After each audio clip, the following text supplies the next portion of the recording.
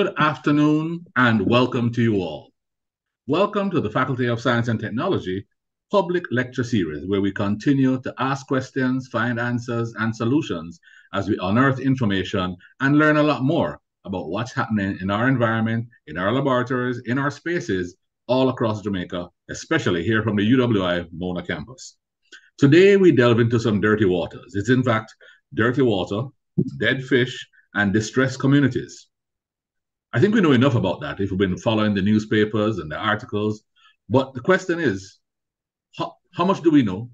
And we want to take us through a series of experts who have been working with fisheries, with water quality, and persons who are in the field of the environment as well as in the field where they are being impacted by the environment.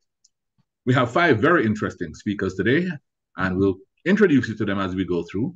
But I'd like to welcome Ms. Anjanette Murray, Mr. Richard Nelson, Dr. Teresa Rodriguez Ferguson, sorry, Rodriguez Moody, Mr. Marlon Green, and Dr. Andre Coy. I will do an introduction for each of them as they come on to make their presentations, but I just wanted to welcome them and thank them for making themselves available for what we think is an important discussion. Each of them will bring a different dimension, a different thought as to how we do what we do. At the end, we really want to end up what can we do? What have we done? And what do we do next? Because the problem has been here for a while. The fish kills, dirty water is not a today problem. It's been here for a while. And it's important that we take a moment and look at what we have, what we know, and how we can take this information forward. So welcome, and I look forward to a wonderful set of discussions. Our first presenter is going to be Ms. Anjanette Murray. And Anjanette is at the National Fisheries Authority. She's the current statistician data manager and has responsibility for statistics and information about fisheries and aquaculture. So no mm-hmm. doubt she will be able to tell us a bit about the fish, the dead fish, and mm-hmm. what we need to know, especially as relates to fisheries conservation and fisheries management. Her area is protection of fisheries water through sustainable management, and she has the elevation to do so, having co-authored a number of scientific research publications um, about management of key fisheries, conch and lobster, etc.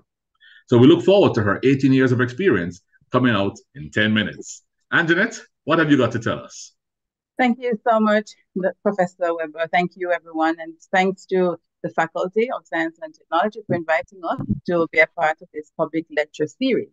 I would just want to take it from the view to share with you uh, just a little bit about what the NFA is doing. So permit me to go ahead and share my presentation and then we can get right into it. Uh, let me go ahead. Please confirm that you are. Yes, you're good to go. Yeah. Okay, great. All right, so um, we're looking at the protection of our fisheries water through sustainable management. And I'm going to just give us an overview of what the strategic framework, what, what we are about, our vision, our mission, our core values at fisheries, just some sector overview and highlights of some achievements um, and who we are, and just to summarize in the end. So the National Fisheries Authority, new kid on the block, if you will, freshly established in 2018, and we took effect, um, became operational in 2020. So, and this was given rise from the Fisheries Act of 2018, Section 5.1. Our roots have been embedded deeply in the dedicated staff members of fisheries, the then Fisheries Division, which was established in 1949, and we were a part of the government division. So we have been building from then um, the entire sector and managing. Now we're in a transitionary phase, and that uh, we're transitioning to a statutory body, which allows the NFA um, the, the ability to regulate uh, fisheries and aquaculture sectors more independently. And this is within a, a strengthening, a structure of a strengthened legislative framework. And this is enabled by Act. This we didn't have much of in the initial phases under the fisheries division because what you find was that the same fisheries officers are the ones who are the data collection, the persons who are analyzing, the persons who are enforcing. So we were very much involved in everything. But now, under the new creature, as it were, we have more strength in legislative framework. And so our mandate and our responsibility, um, it's, it's pretty much continuous, but we're responsible for the whole management and development of the fisheries and aquaculture. So our role then, um, our responsibility, we ensure that there is conservation for the fisheries. We collect, we compile, we analyze data, we monitor, we control, we enforce um, any activities as it relates to fisheries and aquaculture. We are also chiefly responsible for granting licenses, authorization, permits, and any allocation of fishing rights, quotas for the persons who have any intent to fish in our waters. For the vision, our vision, the NFA is a model of excellence. It's in capturing fisheries and aquaculture management, and our mission is to facilitate whatever sustainable development um, of our fisheries sectors, including aquaculture, and it is going to be achieved through effective and efficient management, regulation, administration, and participatory governance for all. And you can find at the core of us where integrity is there, accountability, fairness, respect, there's transparency, uh, goals oriented, and there's professionalism, and there's, of course, the biggie, teamwork. And just overview of where we are now, we have capture and our fishing industry, capture and culture fisheries. So from the very beginning of time when we were registering fishers, we have on register, we have accounted for over 32,000 fishers in total. Same for the vessels, we have 90, over 9,000 vessels, um, and most of which were artisanal and non-deck canoes. We knew that in the 70s, there was a commercial aquaculture being established, um, semi-intensive earthen ponds that continues along throughout the St. Catherine and the Clarendon area. And of course, primary species is for food is tilapia that has been cultured and continues to be the primary one now. Um, we have over 150 fish farmers and 140 ornamental fishes. And of course, we contribute 0.54% to the overall gross domestic product, talking about to the tune of 94 million US dollar annually, looking at over 40,000 40, individuals, you know, that we employ directly, supporting over 200,000 Jamaicans. Now, what we're showing here, what I'm showing you here is the um, just a general schematic or the map of where our grounds are. And this is what we have jurisdiction All the south shelf, the, the, you know, we can see the fishing grounds here in the north from figure one. Um, we're talking about Pedro Banks and other associated banks.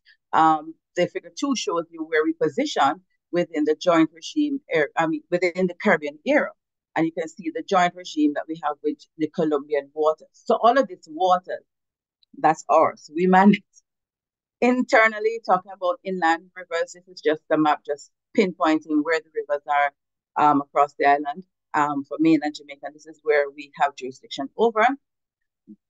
And just to go in, uh, we have here the structure, the now structure of NFA and you can see that it's, it's really now huge. It's, it, it comprises of a, a, variety of divisions um, being assigned different functions and rules, and I'll just get into it a little. We have the executive direction and management, and so this consists this pretty much of our CEO, uh, the corporate services has the legal arm, the legal services, and the accounts. And in this division here, it's really dealing with the full transition of the authority to become that effective um, governing body of this fisheries water that we're talking about. Our capture fisheries development section focuses on their task with the mandate to deal with the management of all the capture fisheries in Jamaica. And this is achieved pretty much primarily through research, development, um, and development of implementing sound management practices. So that's how they have at the core their responsibility there. For the aquaculture section, now we're talking about being responsible for food security. So we address issues where there's lacking fish supplies and so on um, as an alternative source of, of protein. Um, and they regulate and oversee aquaculture farms in Jamaica. And we achieve this through the fry production branch. Um, the branch members have also assist those fishers with root seed stocks and so on it, to help out with their production. Um, you have the extension unit. Um, they also provide expert advice um, to persons who are in industry, who want to come into the industry. Um, yeah, so that's the aquaculture component. I want to point out now for addressing some matters that have been on the table now is the fisheries compliance and statistics. It's a pull together of other areas that were sort of like independent under the old um, model. But in this new model, we have this is a newly established sub program or division um, for, for, for, for fisheries. And here we improve the whole licensing and registration regime for stakeholders Um, there is the strengthening and the enforcement arm. So this component actually came out, and I'll speak a little bit more into that. Um, the strengthening of the enforcement arm, the anything.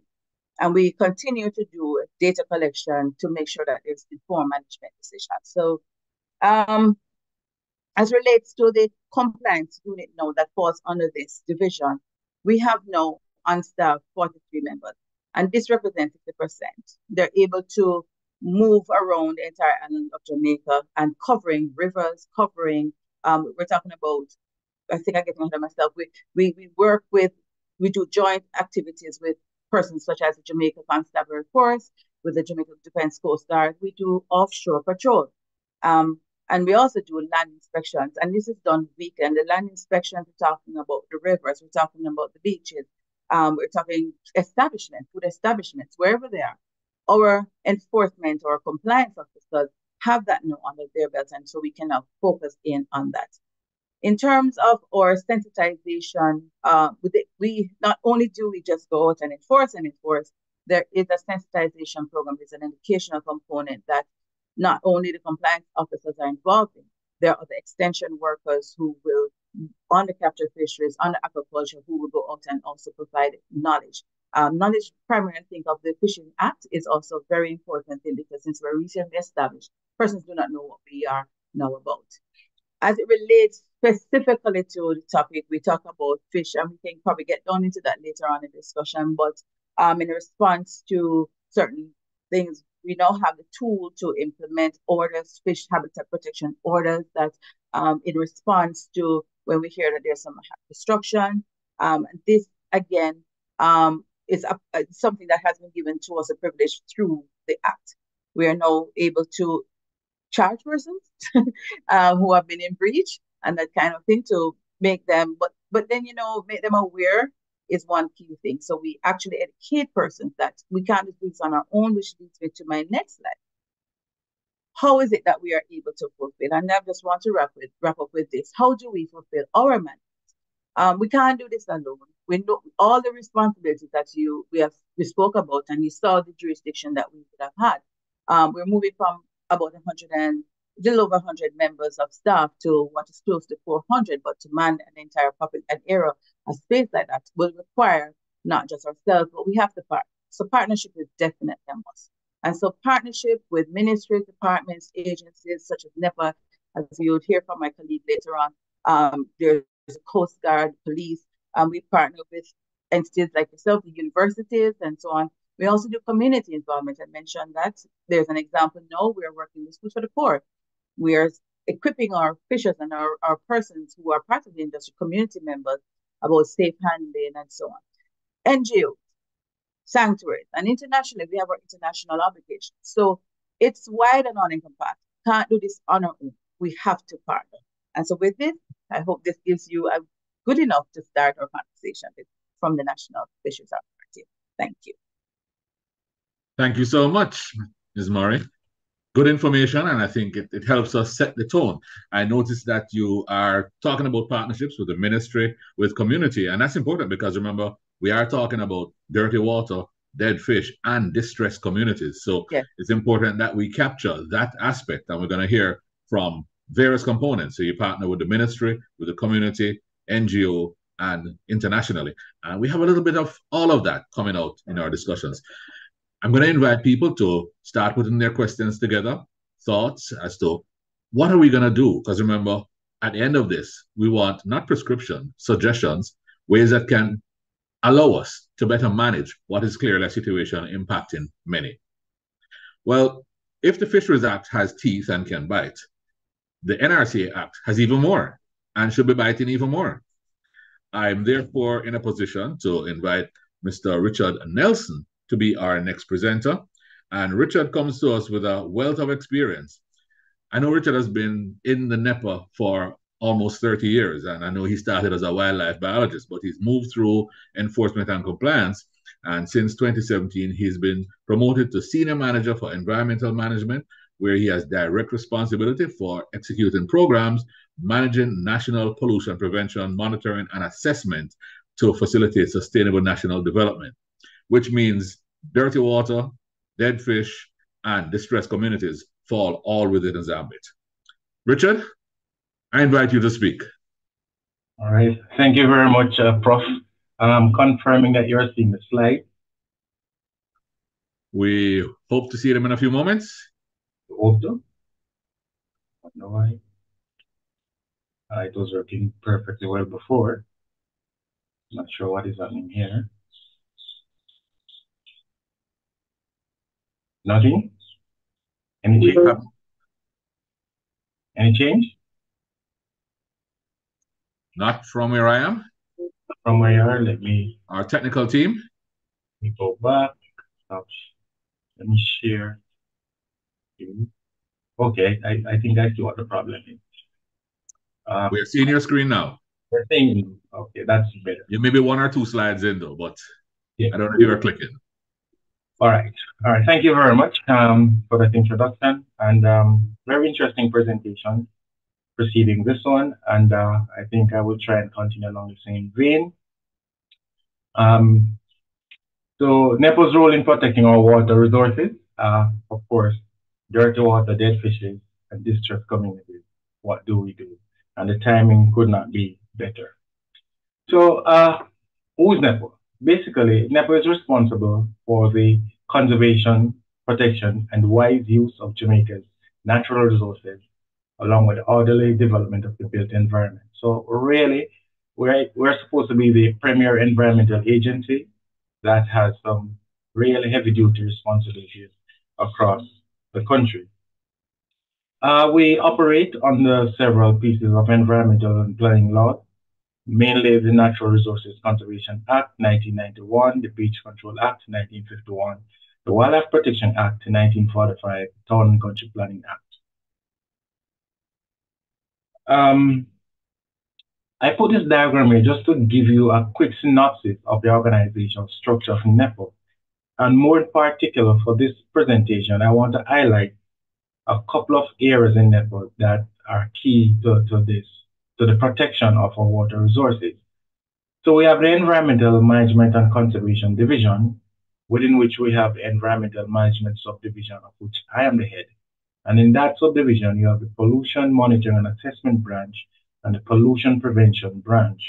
And of course, within the pollution prevention monitoring and assessment branch, we have the wastewater and sludge regulations unit.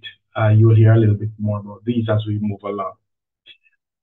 Coupled with that, we work very closely with the legal and enforcement division, which comprises of the legal services branch and the enforcement branches. So when it comes to protecting our water, um, these are the key uh, here departments in the agency that uh, the agency rely heavily on. So how does NEPA play a role? NEPA is really a regulatory agency, and by way of the legislation it administers, more specifically the NRC Act and the Wildlife Protection Act, um, it does play a role in protecting our, our water resources. Now, I heard Prof earlier said NEPA, you know, have some big teeth. Now, what is in front of you does, definitely doesn't reflect big teeth because the fine, the maximum fine under the NRC Act currently is um, is a maximum of $50,000, and that's Jamaican dollars, or prison sentence of up to 12 months. And under the Wildlife Protection Act, the, it, the fines can be as much as 100000 or a prison sentence of up to 12 months. Um, of course, these are grossly you know, outdated. And currently the agency is in the process of having the, the these, these two pieces of legislation updated so that the fines can be um, increased. Now, how does the NRC Act guide NEPA in protecting the resources? Section 9 of the Act requires that um, certain developments must get an environmental permit and of course, there's a regulation, the Permit and License Regulation 1996, last amended in 2015. It lists a number of developments that must get an environmental permit. And these permits will stipulate conditions that guide the operations of these developments in, in order to mitigate or minimize the environmental uh, negative impacts. Section 10 of the NRC Act also speaks to the need for an environmental impact assessment, which guides the permitting process. Section 12, it speaks to the requirement for environmental license, and this this sets standards um, for the discharges to the environment. Then, where there is failure to acquire either a permit or a license, the agency can take enforcement action in, in the form of a cessation order under Section 13. Uh, Section 17 of the Act, um, the agency can request information on pollution from various facilities. Uh, Section 18, an enforcement notice. If the agency is of the view that the activity of an individual or a facility is very detrimental to environmental, um, the environment or public health, an enforcement notice can be served to have it stop and also to remediate and return the area to what it was before. Now, Section 38 gives the minister the power to make regulations, and there are several regulations that speak that speak to, to protect the resources. Uh, we have standard and code practices with respect to the protection and rehabilitation of the environment and conservation of natural resources, uh, with description of categories and um, enterprise and construction that requires an, an EIA and an environmental permit speaks a concentration of substances that may be released in the environment, so we set limits. It speaks of the importation of collection, recycling, recovery, or disposal of substances which may be hazardous to the environment. Um, design, construction, operation, maintenance, and monitoring of facilities for the control of pollution and the disposal of waste. So all of these are various pieces of um, regulations that are in place. Now, one of the key pieces of regulation that is, that is in place that protect our water is the wastewater and sludge regulations of 2030. And basically, it speaks to the need for a license to construct and operate wastewater treatment plants, as well as discharge treated effluent. Now, when we say wastewater treatment plants, there are two types of wastewater. We have the domestic wastewater, which is sewage, and we have uh, trade effluent, which basically is the waste generated, wastewater generated from industries uh, and, and such facilities alike.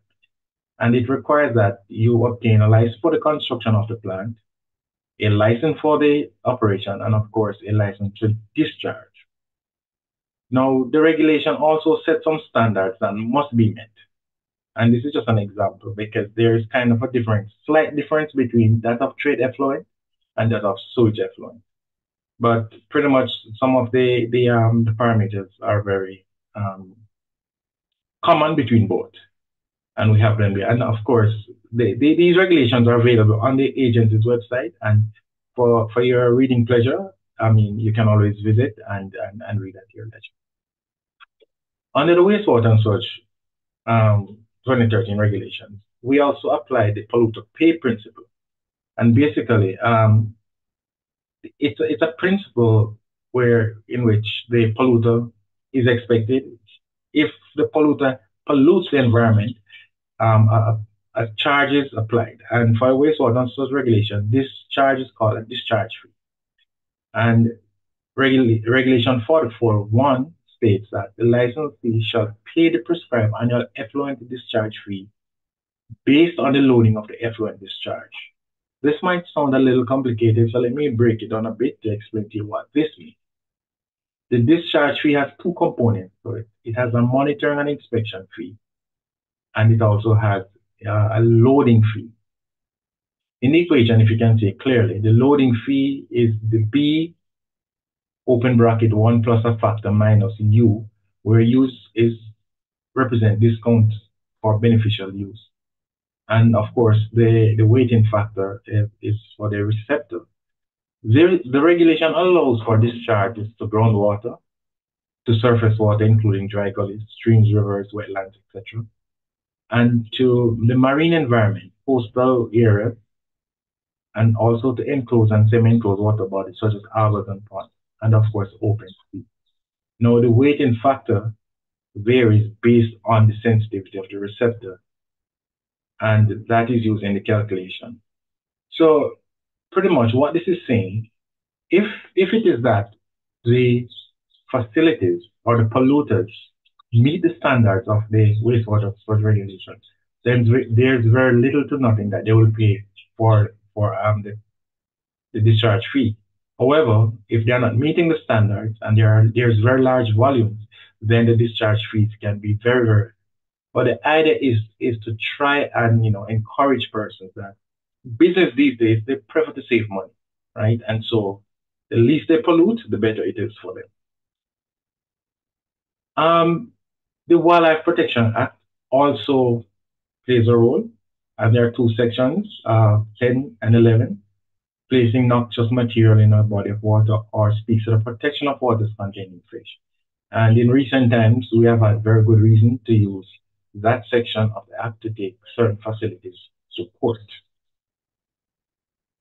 Um, so NEPA does not only apply to the legislation, we also undertake monitoring. Um, so within the division that I lead, there is the pollution monitoring and assessment branch that goes out and do routine monitoring right across the island, both in the marine space and, and in the freshwater areas. Um, we also do compliance monitoring for facilities that have permits and license. And we'll collect samples and develop a profile, not just for the companies, but also for the water bodies that we monitor. And there's also what we call the routine and verification monitoring, where Though the licensees are required by law to submit water quality reports, we will also do some verification monitoring to, to cross-check against what they are submitting uh, on a quarterly basis. Importantly, too, whenever there are pollution incidents, the agency will also go out and collect uh, water quality, which will form a part of the file in, in, our, in, in a case should we, should we move with prosecution and so forth. Um, just like the Fisheries Authority, we also work with our other stakeholders. I've listed a couple here, but the, the list is not exhaustive. There are others, but um, from a regulator standpoint, for example, Ministry of Health and Wellness through the Environmental Health Unit, the Water Resources, we work closely with National Fisheries, MGD, uh, Jamaica Bauxite Institute, and of course, we work closer with UWI because on many occasions, we have to send samples or have consultations with the UWI to assist in some of the cases and investigations that we undertake. But not only that, the agency also works with other partners. And so one, one such partner will be presenting very shortly, the Jamaica Environmental Trust. Um, they are very, they ensure that the agency is on its toes when it comes to the environmental management. Um, we work with communities, local communities, and so on. and um, if you look at images, the image to well, my right, on the right of the screen, this is a recent initiative under the Rio Cobre early warning system, where we have now gone in and put up uh, signs indicate providing contact numbers um, should there be pollution incidents. Um, the various agencies can be notified in a timely manner and it trigger a response process, which should minimize the potential impacts from such an incident. And if this is very successful, if this um, turns out to be successful, it may be implemented across other areas um, in the country. What are some of the future regulatory focus?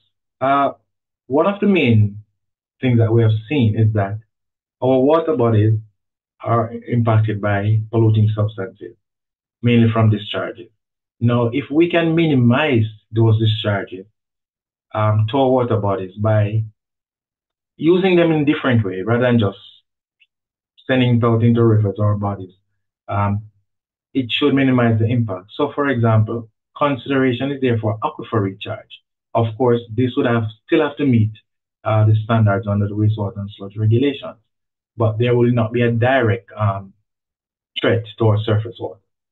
Uh, the use for um, reuse of effluent for irrigation there are standards in the wastewater and sludge regulation that speaks to irrigation. And there are a number of places in, in Jamaica where that is currently being undertaken. For example, on the North Coast, we have one particular um, facility that does collect wastewater from the hotels, treat it to irrigation standard, and is sent back to the hotels to, to irrigate their green spaces. Uh, one of the considerations, and we are working under what is called a 2 Plus project, uh, with the IDB um, to see how we can implement the reuse of wastewater in household systems. Um, it's a long-term it's a long-term goal, but at some point we want to reach a point where even householders, your gray water may be used for your gardening, for your, your lawn, while the black water is sent for proper treatment. So in summary, NEPA's role in protecting our water resources basically is guided by the legislation that it administers through our routine and compliance monitoring and research, and most importantly, collaboration with our stakeholders, not just the regulatory stakeholders, but also our community and the NGOs who play a very important role in assisting the agency to identify the threats that are there to our water bodies. And with that, I would like to say thank you for listening. And remember, if there's an incident in the recovery, you have the signs there, the numbers are there, and you can even scan me and it goes straight to our website and you fill in the information. Thank you very much. Thank you very much, Sir Nelson, for an interesting presentation. And like Anjanette, you have told us about partnerships and about how you function.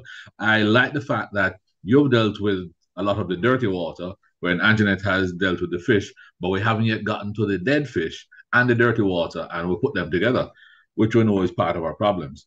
Um, I see questions coming in, and we're going to hold them, but please keep sending them in. Um, there are questions about fines, there are questions about partnership, so we will have a robust discussion in a few moments. So we look forward to that. Well, if you have never heard of Dr. Theresa Rodriguez Moodie, it means you have lived under a rock for the last couple of years. She is an environmental scientist and is the CEO of JET. And JET has been at the forefront of almost every environmental advocacy discussion that has happened over the last couple of years. She works on projects that are geared towards protection of Jamaica's natural resources and public health.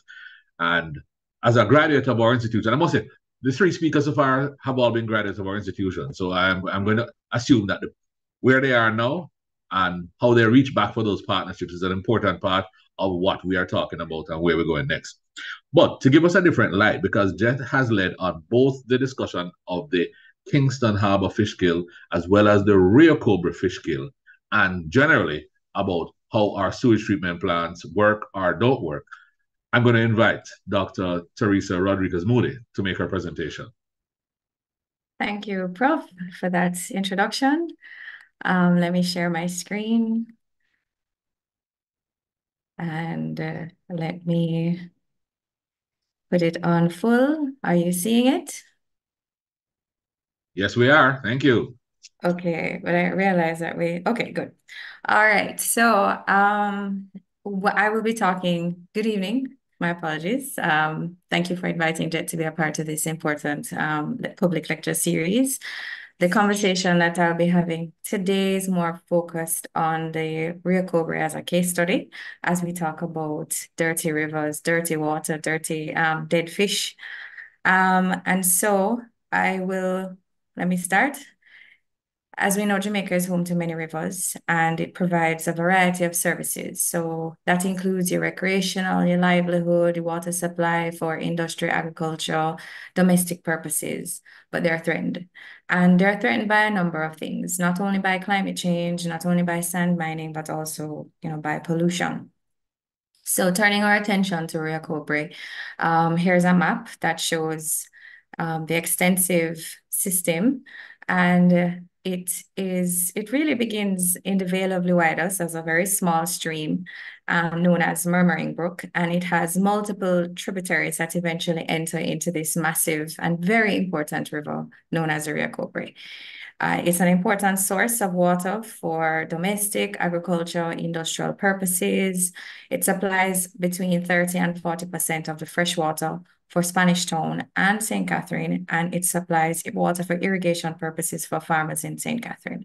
It's an important source of protein, an important source of livelihood for hundreds of fishers, that um, some of which are now registered with the National Fisheries Authority, but not all. And it is, again, as I'd mentioned previously, used for recreational and entertainment purposes. But unfortunately, the river gets a lot of the nasty toxic substances that are either accidentally or purposely discharged. And it, the river has a long history of abuse, um, and I call it abuse. um, on purpose. Um, the the toxic discharges that you know they have been allegedly linked to uh, alumina processing plants and its mud stacking plants, and they go back as far as the 1980s. We have more recent examples of these toxic discharges that have resulted in fish kills noted back 2011, 2019, 2020, 2021, 22, and 23. Uh, we have some other, other alleged polluters, including trade winds. Most recently, we heard about the oil spill in the river in December and others that we know about in terms of the fish kills, but we have not been able to find out or they have not been named in the public domain.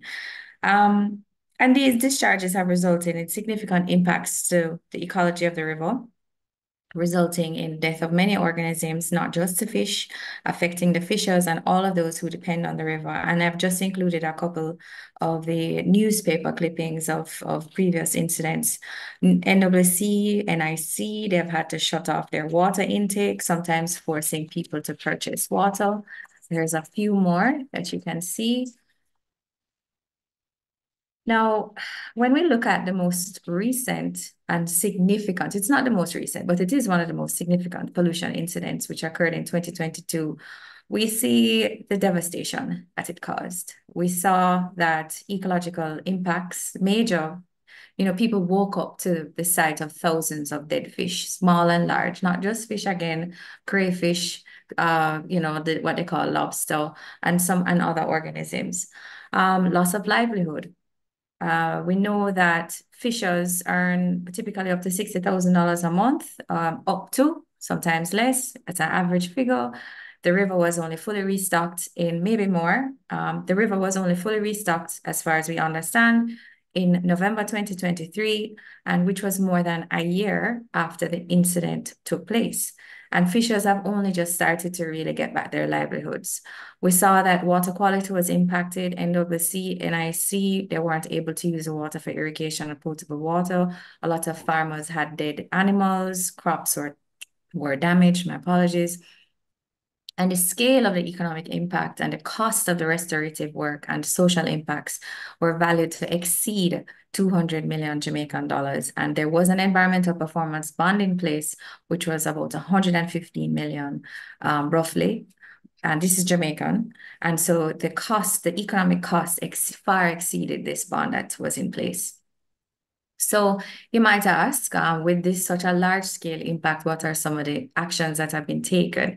And I'm not just looking at the actions that have just been taken. I want to look at the fact that over the years, river has been polluted. So what are some of the actions that have been taken? So through ATI requests, we've been able to determine that um, at least six enforcement notices have been issued um, by NEPA between 2011 and 2019. We saw that several other notices um, between 2020 and 2022 were also issued.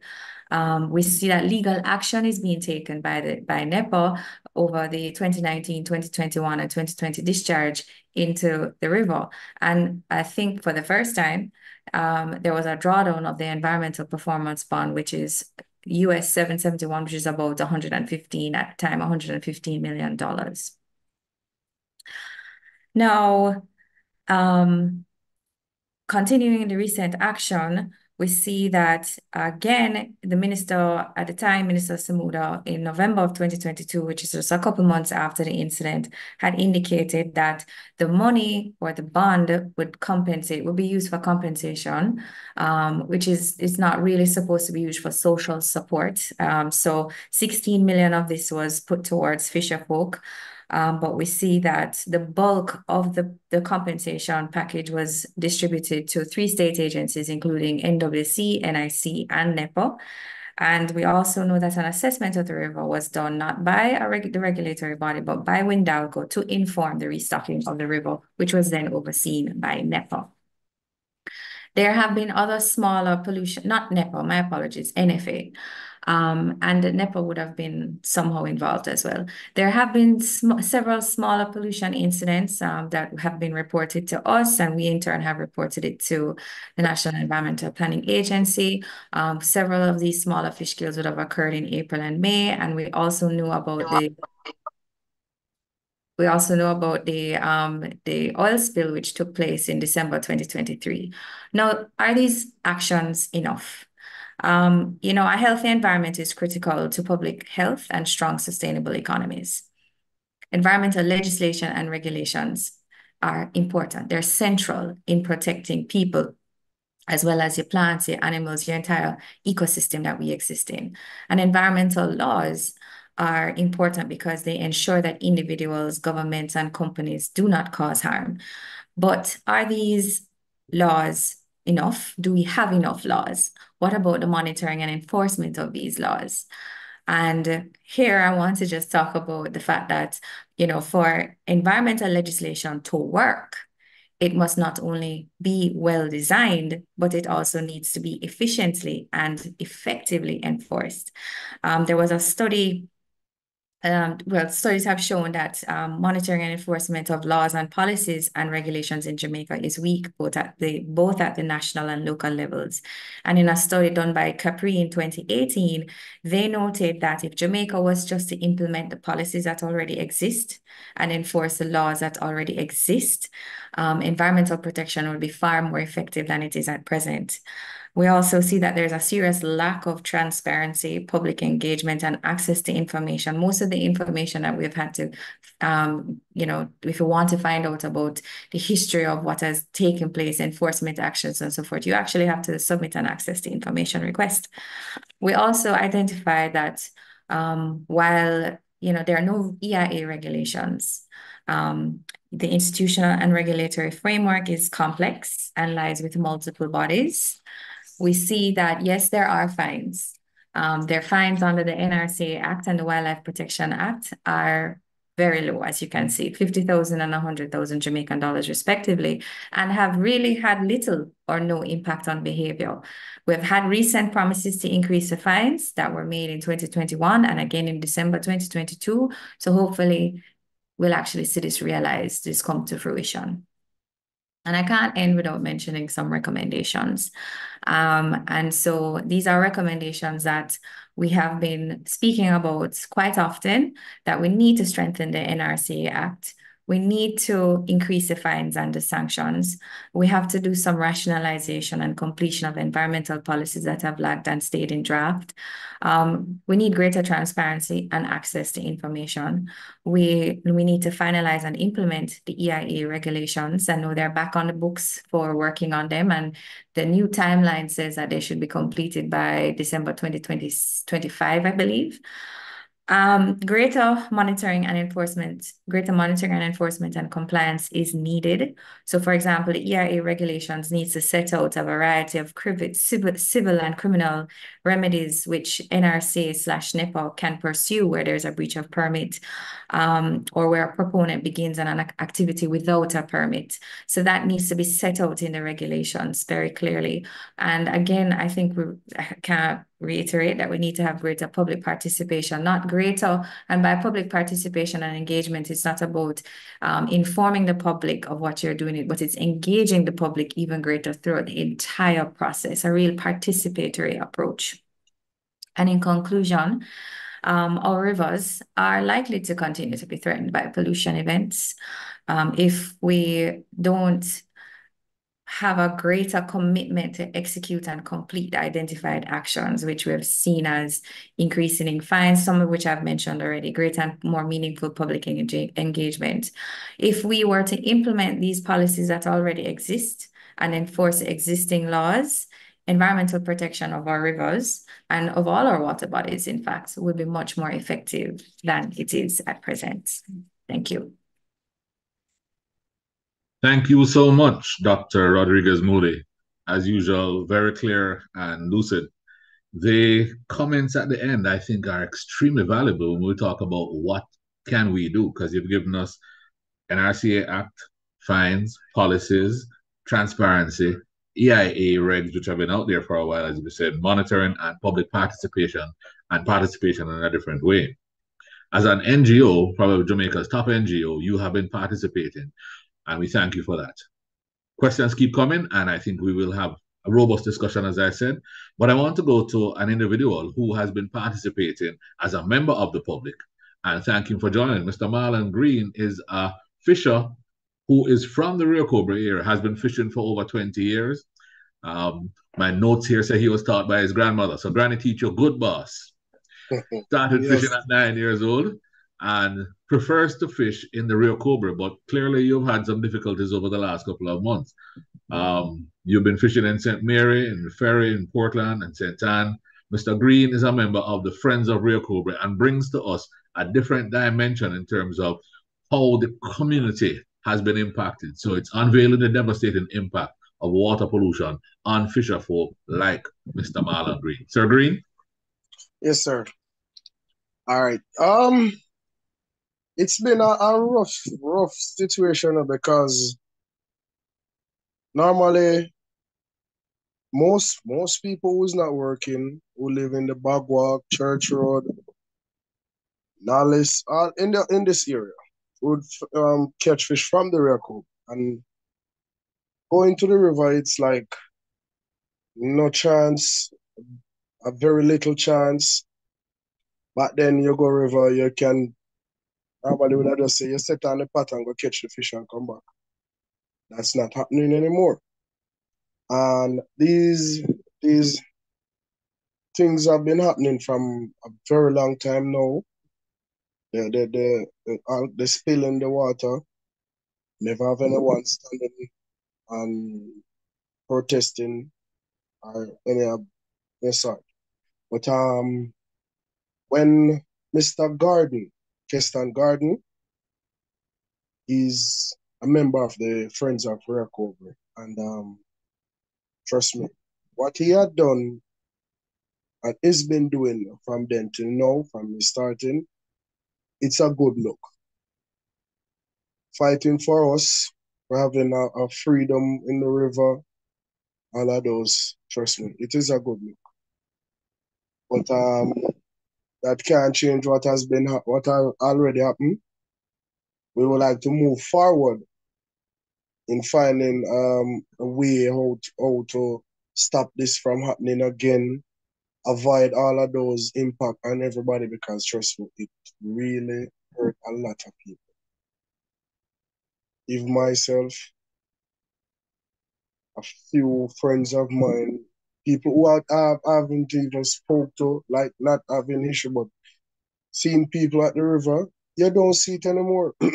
Normally you pass by um Breadfruit Gully Bridge, right? And you normally see on the bridge when water dirty, you see like up to 15 different person trying to catch fish. Nowadays, if the water even come down dirty, you don't see you hardly even see five person that much. So it is a situation where we need the help in order to I need a um a guidance more than um more than ever. Mr. Garden is doing a lot, as I said, and um we have to be sure that it won't happen again because trust me, it, it it also pushes a lot of other fishermen to go other places out of Rio Cobre water to go and dive, including myself and a few other people. Because if we will go to the river and can't find any, what we are going to do? We are going to eventually push going further and further in other places. And um, most of the places are not a safe place to dive, including um, down by ferry. Because we went there a few weeks ago, and trust me, the crocodiles are in the water and they are showing themselves really, really, really. They are not hiding because um, I was told it is mating season and we have encountered with them more than once. So for the past few weeks, I haven't even get the chance to go and dive because in this river, not much. They say, I've restocked the river and trust me, restocking the river is our next thing we um, would like to talk about. Um, if you're restocking the river, I think members of the community should be on board to, um, to show and instruct the guys that um like where are the best places, where are the breeding ground for the fishes. You understand? And when it happened, I was only told that the river was restocked. I was looking forward to um, be a part of it. I wasn't even aware of it until it happened. Next thing, the type of fish that we used to have in this water, they are not there anymore. I used to fish, um, catch the, the fish they call carp, and 14, up to 15 pound fruit fish, um, the carp. And trust me, I haven't seen one from the fish kill. I haven't seen not even one. I haven't heard about any restocking of the carp in the water. You have a fish mullet. I haven't heard about it. There's no mullet in the Rio Cobre up this side. I'm not sure about way down at the end, ending in Spanish because Reno Rio Cobre go through Spanish town. And um, you have sunfish, you have mullet, you have carp, you have tilapia, and the original, the original tilapias, we normally call them black carp. I haven't seen any of those. I haven't seen any rockfish. Um, there's a fish down used called drummer. I haven't seen any of those. So imagine all of those names that I've caught, and it's just only the, the tilapias alone. Tilapias used to grow up to pounds because I've short fish in there, tilapia. But the carp are one of the main things that grow up to 15, even more. You understand? And um, not seeing those fish going to river and shooting fish and not seeing those it's it's it's it is not um it's not a good feeling. It's not a good feeling. And um other people, other have to be sourcing other options. What about others who can't, who don't have the qualification? Because uh, up until now, I know elderly person, 50 at their wall, I think this lady is um, more than 50 at 20. But um, you can't seek for her to go and look, seek job. Her livelihood is in the river. She normally would just sit down and catch some fish and she can sell it. That's not happening for her. So it is a great damage. And um, Mr. Garden is trying his best to assist. Trust me, he is. And um, um, um, I'm lack of words right now, to be honest, because there's so much things to say. So much. The river, the damage of the river. Um, it was a thing where I don't. It was before I was born. You know, they used to have even competition to catch fish. That is how things used to be in Bog Walk. They used to have competition done by Barefoot Gully to catch fish. None of that hasn't happened in years. You understand? And I remember when I used to go to river, um, I would have to dig the worm for my grandmother or my uncles. Sometimes my uncle, when they used to go to river, and he say, okay, get some worm. You get some worm. And them said, go and go get your line and come back. You know, as a little child, that is joy. Sometimes they come back and go and leave us. Right? And next time they will take us. So I've been doing it from our um primary school. Yeah, from primary school. And up till last week, I'm in a school group from the Bog Walk High School. I was in the group and the classmates of mine remembered and said, um, you still do those stuff? And I said, yes, I can't stop, you know. He said to me that if you remember um, that his family going to school, always doing that thing. And when he said that to me, you know, it touched it touched a point where I said to him that uh, you know, it's not like the, the same as when we were going to school because it's one of the hardest thing now to catch a nice string of fish. even for the whole household, much less to even sell to customers. You understand? And um, in this time, if if you are not in a different field, you can't think about fishing alone. It pushes me where I have to do other jobs. I work um, with a company at JPS Contractor. And two, three days pay from that contractor, it would equivalent to one day in the river for me. And trust me, it it is it is very, very, very, very hurtful. It might not seem that way to a lot of people, but trust me, it does hurt a lot of people.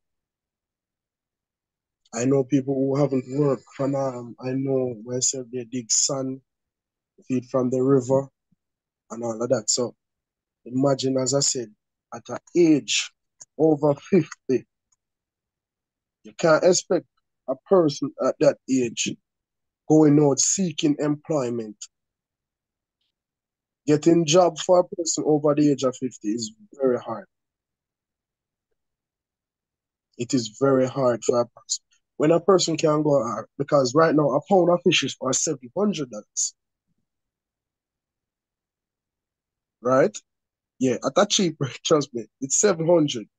And we used to catch fish, like one fish, about four years back, up to four years back, one fish can weigh up to more than a pound. So that can sustain a lot in your pocket. I was living with this um this lady and I wasn't working because I on and off I work at the contract and as I said. And I was living, I was paying rent and was living there for two years.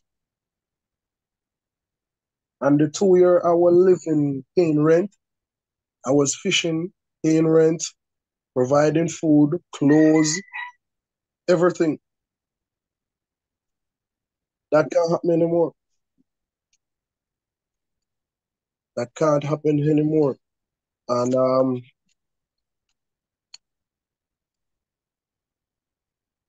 the other day, I'm trying to remember exactly word to word what the person had said to me.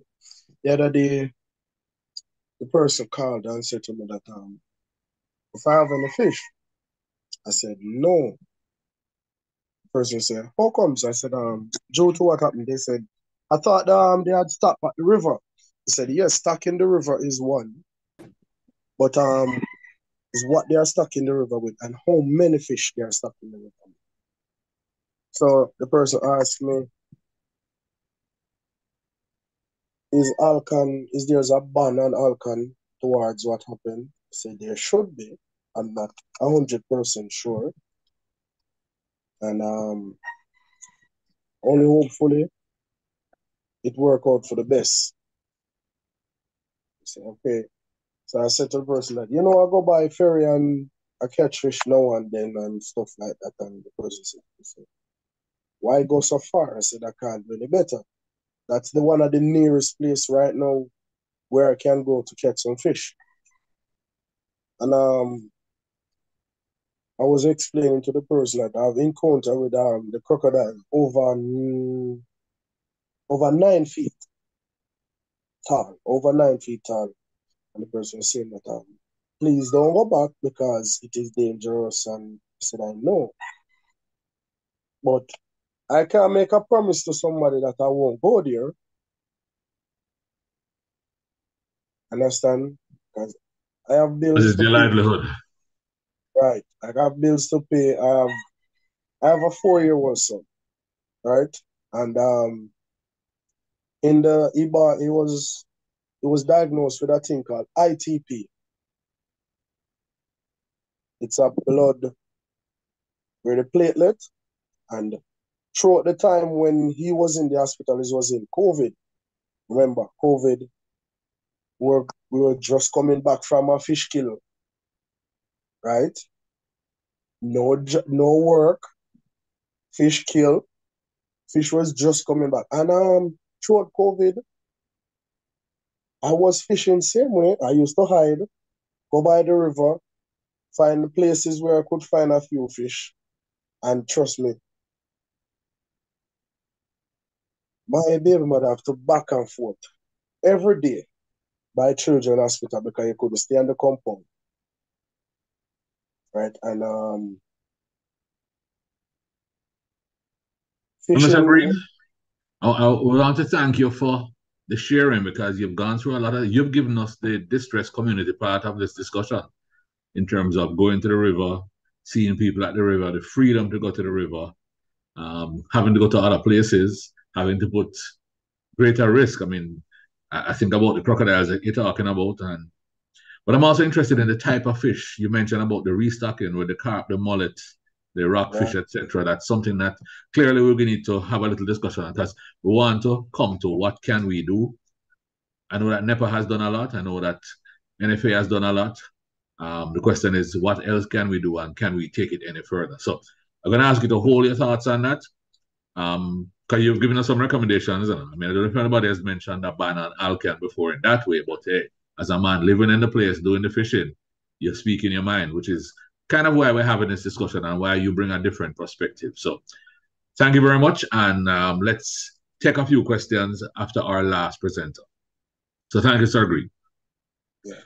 Colleagues, I want to go to our last presenter, who is Dr. Andre Coy, because while we have heard from both Anjanette and Richard about what happens with the regulatory agencies and what they've been doing, and they clearly have been doing a lot and, and going further. And while Dr. Rodriguez Moodie has told us some of the actions and lack of actions, and now we've just heard from Mr. Green. Andre is a senior lecturer in the Department of Physics, um, and he his research interests span a number of things, but one of the things is signal processing. And I know that he has a strong interest in how we can monitor without having to be there, because my information says the last fish kill that was in the Rio Cobre it was a man who is there, like Mr. Green, who eventually bring it to NEPA's attention, who then went out there to do something. Is there a way we could 24 hour monitor in the background our engagement of what's happening on the river? So I invite Dr. Andre Coy to share disaster mitigation through automated waterway monitoring. Welcome, Andre. Thank you, Prof. Um, good afternoon, colleagues. Good afternoon to everyone viewing. So uh, I want to talk to us very briefly about some of the work that has been going on uh, at the University of the West Indies in the Faculty of Science and Technology that we think uh, would be quite useful for uh, dealing with the problems that we're having with dirty water, dead fish, and distressed communities. But before I go into uh, my presentation, I want to uh, mention that the work that I'll be sharing today is the work of uh, some of my colleagues. Uh, um, so I was not involved with the development of this of this tool, um, and I want to give uh, credit where credit is due. Dr. Larry Myers, uh, who's a retired senior lecturer in the Department of Physics at UWI, is also a former chief executive of NEPA um, through 2006 to 2009. He was the one who uh, developed the system in conjunction with Dr. Leonardo Clark, um, who is a lecturer in the Department of Physics currently, um, and a number of, of students who have gone on to, to sterling uh, careers. And Dr. Jayaka Campbell has revived the project um, and has come up with um, version 2.0 along with some of his students. So credit uh, where credit is, is due. We've, we've heard already the, the issues with uh, waterway pollution and the fact that it is uh, a significant problem in our societies. It's not limited uh, to Jamaica. And the environmental degradation has impacts across the world wherever that environmental degradation takes place. But more importantly, um, or maybe not more importantly, but uh, definitely linked to it and caused by it, is the economic loss. We, we heard a while ago uh, a real story uh, and this is just one of many. So I don't need to spend much time trying to convince you about the, the dangers and the, the problems with pollution. But one of the, the issues that occurs is that the, the timely uh, detection of these pollutants in our waterways has eluded us so far. There are uh, solutions that have been put forward. I, I, heard the solution from NEPA where there is a citizen um, monitoring uh, approach that is being taken, and, and that's an excellent idea. And but we we need to think further as to how we can do this without actually having to send people to go out and to measure things, having to uh, wait for somebody to, to have credit to make a phone call. This is, is a challenging area for us. And this is something that we believe uh, in the Faculty of Science and Technology, which is the place to go for science and technology, information and solutions is that we can do something a little bit different, something that will allow us uh, to, to do this kind of monitoring that is required, to engage in this kind of uh, oversight um, in a way that is uh, that can be done remotely, in a way that is uh, quick, that is on online and always available. And so we have proposed, uh, have developed um, and in the past have used a waterway monitoring solution that will allow for uh, constant monitoring, that will allow for uh, all the stakeholders to be involved um, through being able to access the information in real time and, and therefore being able to act on it in real time. And so the proposed solution uh, developed by my colleagues um, is the real TMS. This is a, a water monitoring and alert system that will uh, allow for the constant um, real-time monitoring of our waterways. It consists of a network of sensors, and these will measure a, a wide variety of environmental uh, parameters. It can be in a still uh, body of water, can be in a moving body of water. This information is relayed um, to a cloud-based, uh, an online storage system. That information is then displayed uh, to the users um, of the system. And so it provides them with information uh, that they can act on. This information can be uh, accessed via the internet. So this is uh, an image or a couple of images showing um, how the first system was deployed. Um, this was actually deployed for a private sector partner. They were very pleased with the results, uh, and it was quite effective. And this was done uh, many years ago. And uh, so it was more than just a proof of concept. It was actually a deployment. And so we know that this uh, can work. We know that this will provide us with the tools that we need to make the decisions uh, that we have to make and to get things uh, done very quickly. This is a, an image of the current dashboard, um, one of the pages. So it can show you where the sensors are located. You can click on a sensor. It will give you the information for that station, um, showing all the parameters uh, that are being monitored. Uh, excuse me. And you can make your interface as a user, if you have a particular need, you can actually make your, your interface specific to you so that it will display only what you want displayed or will display additional information uh, to that which is uh, given to the average user. This can be put in all uh, the waterways that are of concern. Um, it can be put at the uh, in areas that need to be monitored constantly. And so when events occur, it doesn't take us a day or two. We don't have to wake up in the morning to see that something has occurred uh, overnight we can get an alert um, that something has occurred and investigations and mitigation uh, can begin. So uh, quick overview uh, of the, the new system. So the data are gathered and they're stored uh, online. So there's historical data as well. So you can do your analytics. You can see um, where there's there's most uh, there's most of an issue um, you can determine that these areas need to be monitored more closely. Actions need to be taken in this particular region. Whatever uh, needs to be done, uh, you can have the data to make those decisions. It's designed to be modular. and so you can uh, move it around. Uh, you can uh, uh measure uh, things that are specific to your environment that don't come with the, the generic system.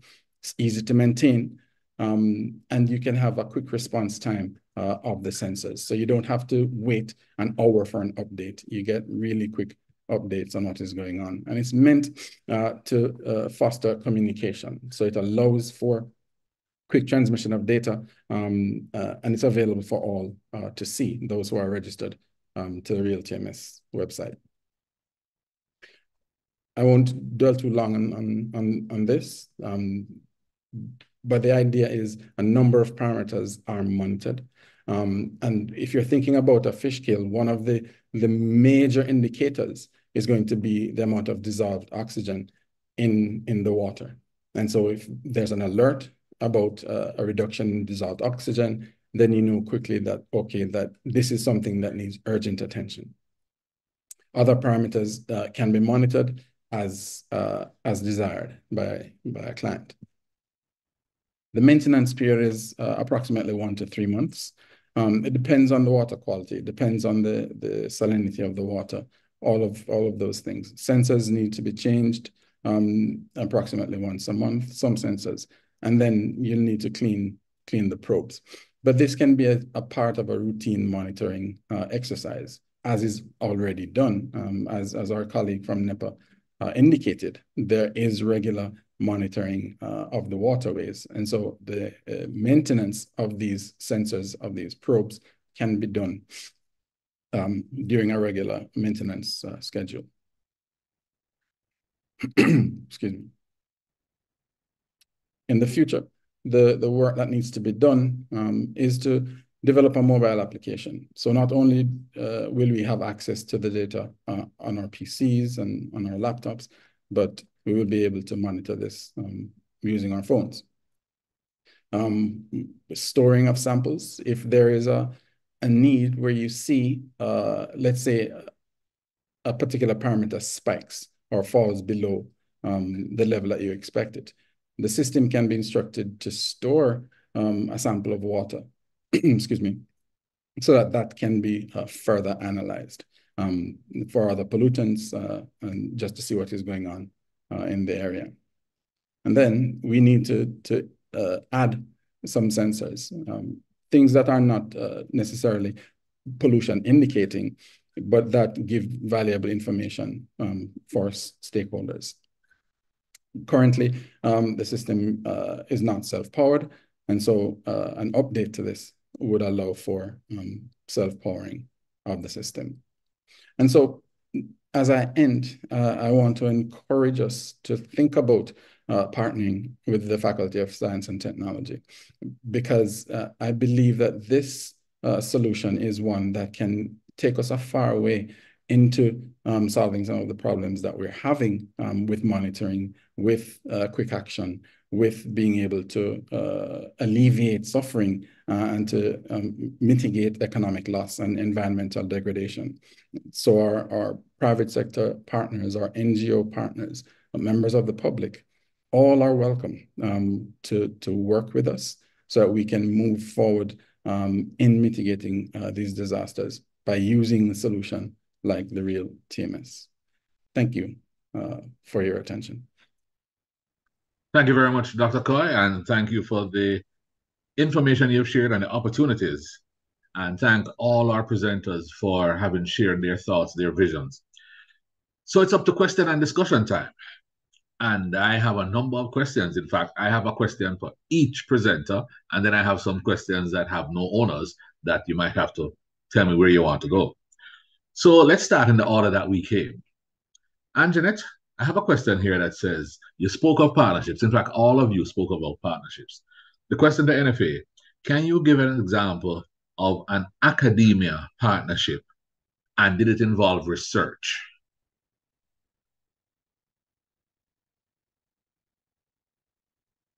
An academia partnership? Yes. Okay. That's that that a whole lot has passed through my mind. Um, specifically, um, I can say for if I can use my own case, I mean, we would have partnered with the university, well, University of the West definitely is one of our academic partnership, and we have done collaborative work in terms of for this is not definitely speaking to uh, the rivers, but uh, as it relates to conch surveys, we would have done that in times past. And um, the conch, the queen conch is one of those fisheries that are, are under the CITES watch if you will. Um, so we have to manage it very closely. And every year or every three to five years, we would execute what we call a underwater visual surveys. And we have partnered with the university um, many times um, in executing this task and to determine the stock status of the um, of the conch species, and then by extension be able to determine what is the total allowable catch that may be implemented. So that's just one example that readily comes to mind. Thank you. Let me have my follow-up question. I guess as moderator, I can throw these in. So in your fisheries management, do you have some of the species that Mr. Green talked about as part of your management framework, the carp, the mullet, the rockfish, the drummer? Is that something that fish NFA has as a part of its mandate, or it really is marine fisheries only? We have it all encompassing, but um, I would say that specifically there is no fishery management plan yet in place for what you would have mentioned. I took note keenly of what um, Mr. Green had mentioned. Um, and yes, I I do empathize with what Mr. Green had said in terms of um, what was restocked, and we do take note of what you had said. And um, we definitely had placed in there the black perch and the red tilapia and the Rocky Mountain. Those were species that we cultivate and we would have facilitated at the, the aquaculture division. So the ones that he would have mentioned, um, as I said, took note of, and I think this is something that we can definitely embark on as part of our new thrust as a as a NFA to even to consider for further restocking to meet the needs. Thank you. And I think part of what we want to get from this discussion is the need for that partnership to go beyond where it was. Both Theresa and Marlon spoke about the need for, for the partnership to be not just uh, uh, uh, you're telling them, it has to be an engagement. I mean, if you we really should ask Marlon what fish he wants in there, what fish does the fisher folk want, and what has worked and not worked, rather than fishing it with something that either they're not going to catch or something that is unlikely to survive. So, but we'll take that one a little further. Okay. Sorry, yeah, go ahead, Anjanette. No, I was about to say that um, I'm not sure if Mr. Green, you were there, but community meetings have been held with, I mentioned earlier about our compliance officers. So they have been going in and having more focused discussions, um, group discussions, and uh, part of the restocking exercise did actually take into consideration consultation with the fishers. So I'm not sure if it was one of those times because I know sometimes when you go to meet, not everybody will be present at the time, but we'll definitely tighten up on our collaboration. Okay, great. Thank you. Richard, I have a question for you. It is kind of tied into where Andre took us a while ago. What about using technology to detect pollution before it spreads too far? Is the human detection the best we can do?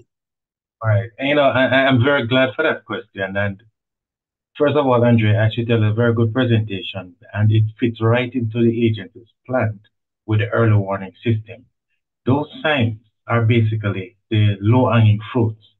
In fact, we started to do some inquiries about using electronic electronic system um, to give us, you know, early warning. We we we had met with some stakeholders who already use a type of early warning system to notify. So, for example, you know that um, for ODPEM and the double RA, there's a early warning system about flooding. Um, so, what from when I was sitting here, I said well, after this discussion, I need to get your contact so I can have that discussion with my director because this is something. When I look at what was presented in, in your in your what it can do, I'm very encouraged. And yes, uh, Prof, this is something the agency will um, explore. I think we have a solution right here. Um, it's apparently based on a presentation. It has been tried and proven, and um, it is something we're going. We also thought about the use of um, some cameras. In fact, when we had a community meeting uh, in putting this early warning system together, it involves stakeholder engagement. And when we met with the communities, the fisher folks, a few of them did indicate that, you know, if you put some cameras where, you know, somebody's monitoring at least, most times the pollution in the in the river, and we're talking in over, it's a visual thing. And so the camera will be able to pick it up and you can respond in a timely manner. Unfortunately though, the what the early warning system is going to do, it is going to tell you that a pollution incident has occurred. What we really want is that the mechanisms are in place at those facilities that when there's an upset in their system, their discharges are contained or there's some, you know, redundancy in place to prevent any discharge to our water bodies. So not only with the communities are we working, we're also working with the with the the um the, the various facilities along the Rio Cobre in this particular case um, because there are about three industrial areas along the Rio Cobre. And unfortunately, their discharge go to the Cobre. And so we are now working with them to see how best we can minimize that. But yes, we are pretty much in for the technology and it is a part of our long-term plan. But we need to get something done on the ground. So we start with low-hanging fruits. Well, start at the beginning and work your way up. But I have a follow-up question which comes up for you then. You mentioned it, and so did Dr. Rodriguez Moodie fifty thousand and a hundred thousand dollars is not a fine. I mean, that's really ridiculous. As a, what can you do to move that fine? Because you talk about the polluter pay principle, but I'll be honest, you just mentioned two or three of the industries. A hundred thousand dollar fine is twenty minutes of their industry working. What's a real fine, and how do we get there? Well, currently the fines are being reviewed, um, and it is something. The, the thing is that it has to go through a process. You know, we the legal team meets, they look at the, the, the various fines. Um, it has to now go to the ministry and then it goes from there to chief parliamentary counsel and so forth. It is well on well far down the wicket now, if I use that term.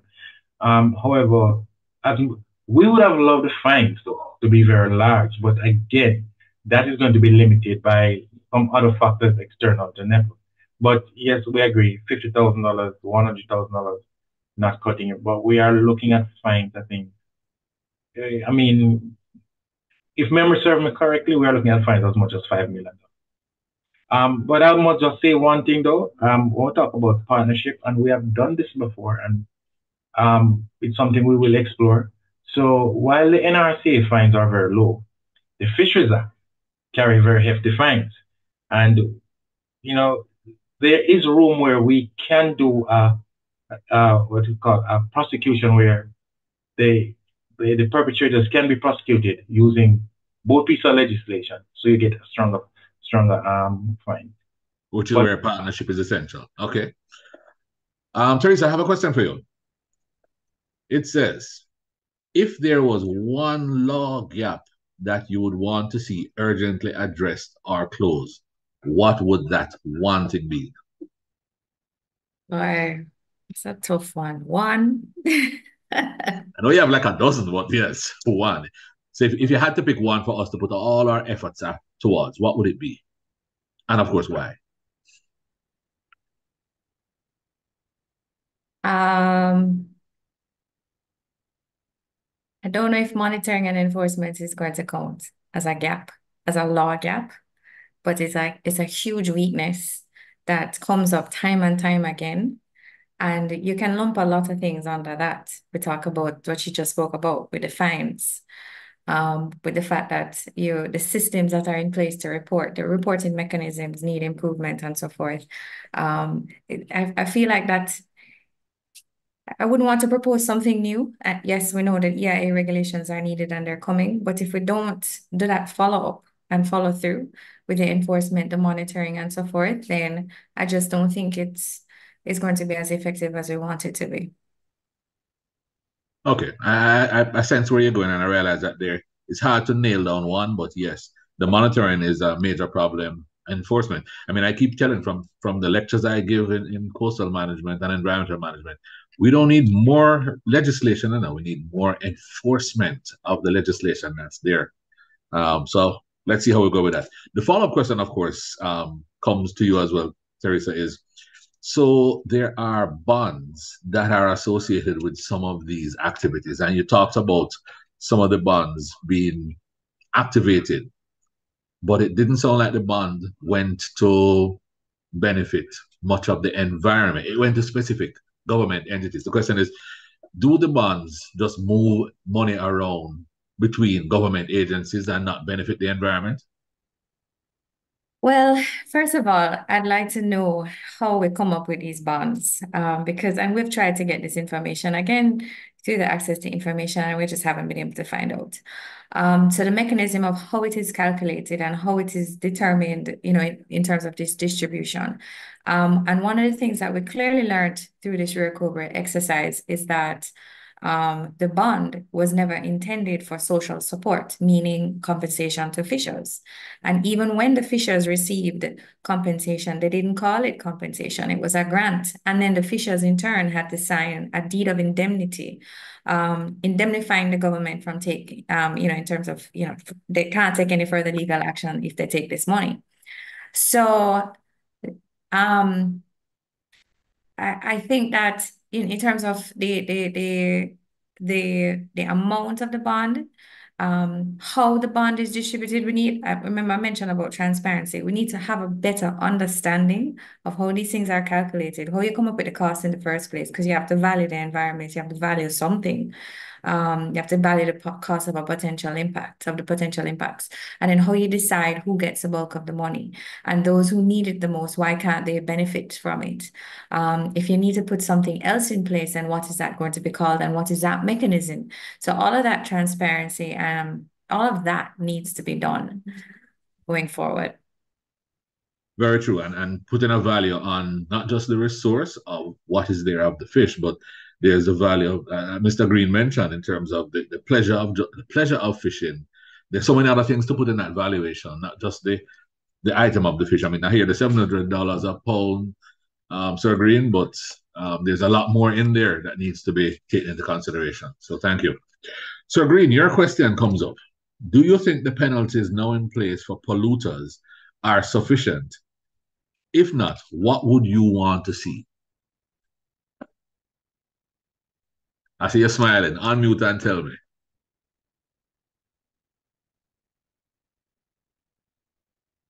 You have to unmute. You're muted. Yeah. All right. The penalty. Well, first of all, you think it, you think the penalty is enough now, right now? No. Okay, good.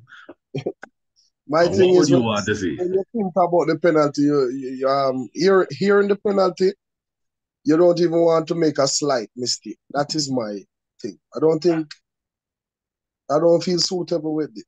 I think it should enforce a bit more. So you think it should be a larger penalty and more rigorously enforced? Yes. All right. Second follow-up question for you, of course, is about the restocking. And the question is, if you were in charge of the restocking exercise, what would you want restocked in the Rio Cobre and where would you restock it? Because I gather where you put it is important based on the river continuum that you have. What what fish you would use and where would you start? What fish? There are at least five different species of fish.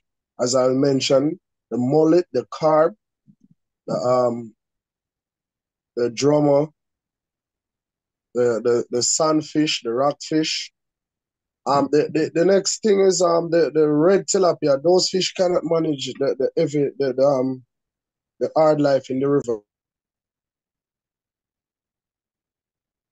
Li- Life hard in the river? Those fish, those fish are not going to able to manage the water. You know. Okay. And second, um, where I would stop with fish. Yeah. There are numerous amount of places. You have to stop. You have to stop fish way up in the river. Furthermore, way up from Zephyton come right down. You have um near where the Ever Spring, including behind Macanel and Macanel premises, there are more than one place there. And um in Bog Walk, in Burfruit Gully area, those are the places.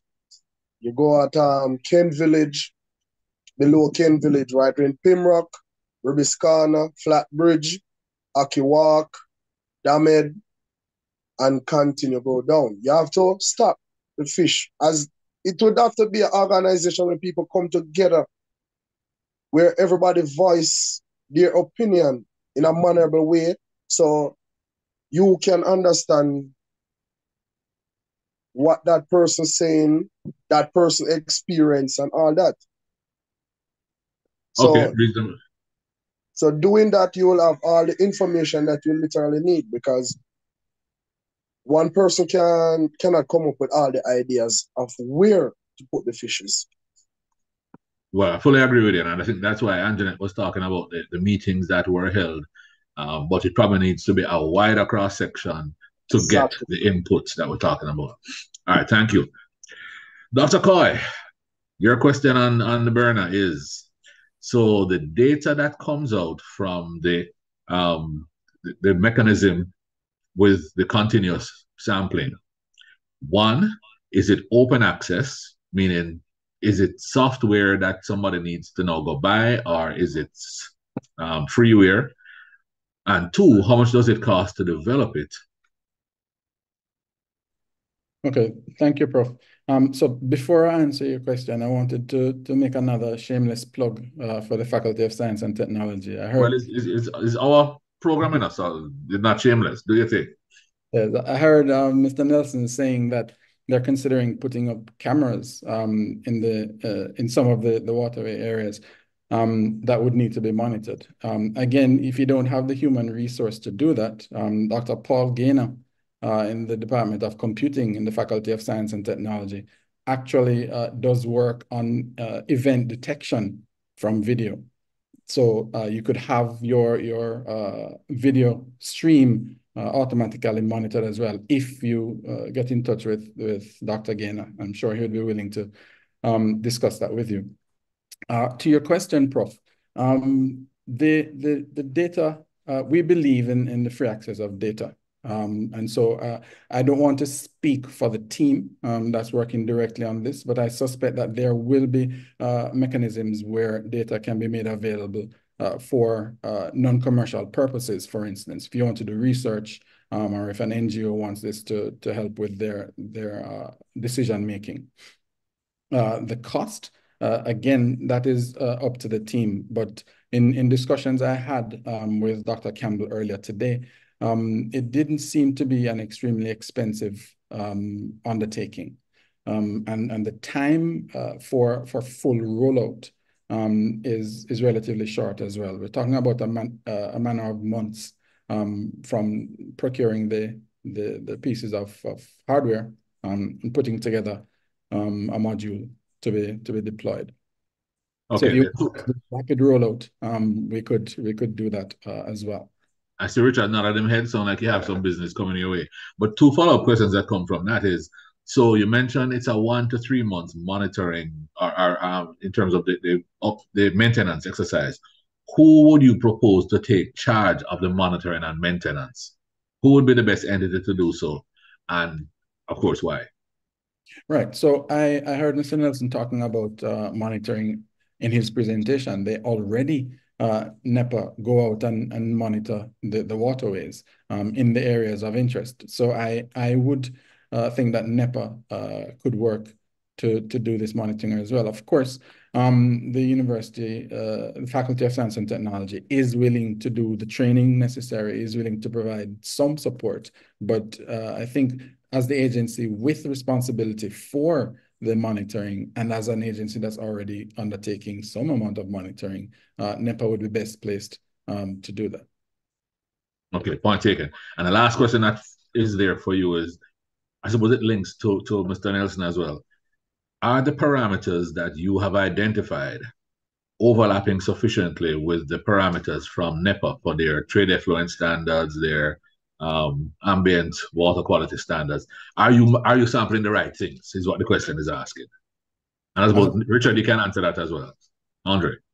That's an excellent question. Um, uh, so the initial development was done by the then CEO of NEPA, um, Dr. Larry Myers. Larry. Right. So he would have he would have gone into this knowing what needed to be monitored and understanding that those are the things that he would want in the system. So I think in part, um, many of those parameters are already uh, being monitored. Um, it, uh, Mr. Nelson can tell us if they're all being monitored, but I think that uh, many of them already are. Um, and thank you again. Um, from your presentation, I made some notes and I realized you have pH, you have dissolved oxygen, uh, temperature, electrical conductivity, turbidity. Now, um, when we do a water quality monitoring, there are some, what I, I like to call key criteria parameters.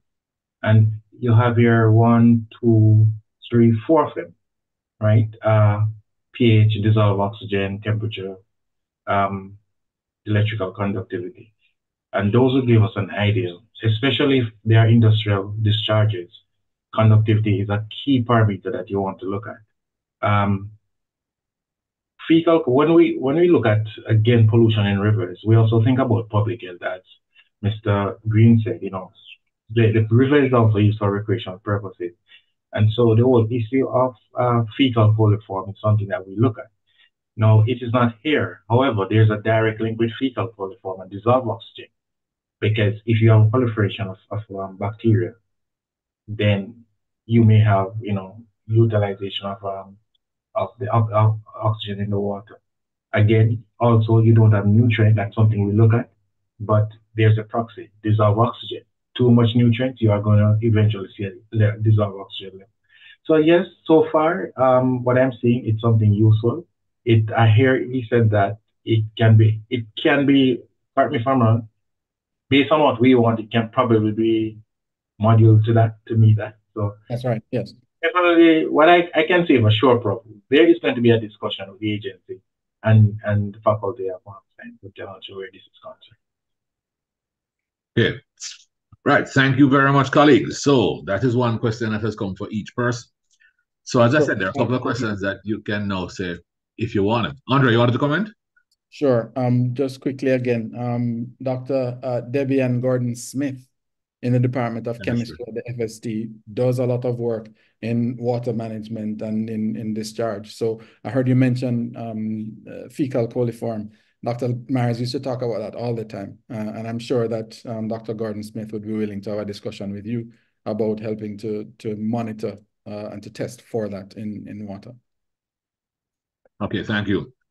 And there are a couple other sources that I will come back to um, as we try to wrap up. But here's an open-ended question, and I don't know who wants to take it. It says, what has been the source of the most recent fish kills in the harbor and in the Rio Cobre? What What is the source? Has that been released? I guess that's a NEPA question. Richard, what do you say? Um, the so let me start with Kingston Harbor. Um, during the November into December period, there were a number of fish kills, and again we work with UWI in trying to assist with coming up what could be the possible cause. And what what we know for sure, it is the uh, proliferation of algae that led to algal bloom. And in fact, I think can't remember the name of the algae at the moment. Was I? I'll help you in a few seconds. Because my, my, my office, my lab did that. And it is it is not any one particular cause for the bloom, but it's a combination of factors that would include nutrient, temperature, etc., things like those. And as a result of that, this leads us to what we like to refer as non-point sources, where you can't really identify any one particular source, and so you have to look at non-point sources. As for the Rio Cobre, um, the most recent kills, um, basically, uh, as Dr. Moodie had in her presentation, um, the facilities for which were identified, uh, we actually in with them. And so those sources were linked to industrial discharge. Okay. So the, the species you're talking about, so the, the, the fish kill in the harbor, I can tell you, because as I said, that was done by the Center for Marine Sciences and the Department of Life Sciences, our parent department. One of the fish kills was Ceratium, which is an alga which um, blooms when a certain combination of nutrients are available. And that combination of nutrients usually comes with sewage. So while you can you have a non-point source, It could be diffuse sewage, it could be from a sewage treatment plant, but that's that's one way of trying to, to identify. And that was a fish scale, not so much, well, I'll mention the other one in a second. This is a fish scale that actually clogged the gills of the fish so they couldn't breathe anymore. And that's the end of that.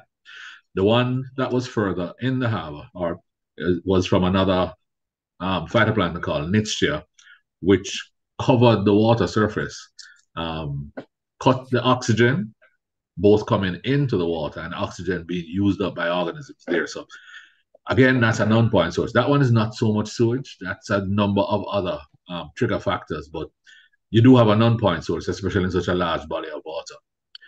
However, the ones that I have heard about and read about from the Rio Cobre were not so much algae. Those sound to be chemical of origin, which means, as you say, you have your finger on the pulse and should know the one or two. I mean, Mr. Green, tell us who you think is responsible for one of them. I don't know if he has more evidence that he wants to share with you.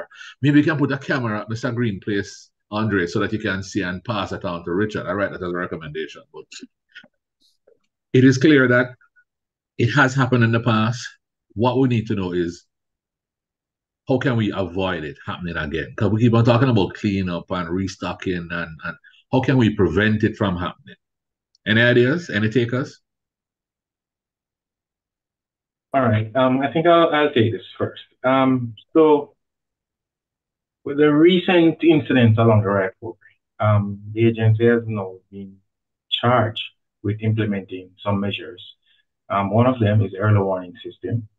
Um, the other is to revisit all the industrial facilities along the, the, um, the Cobre and work with them to come up with a solution to minimize the, the, um, their discharges to the Rio Cobre.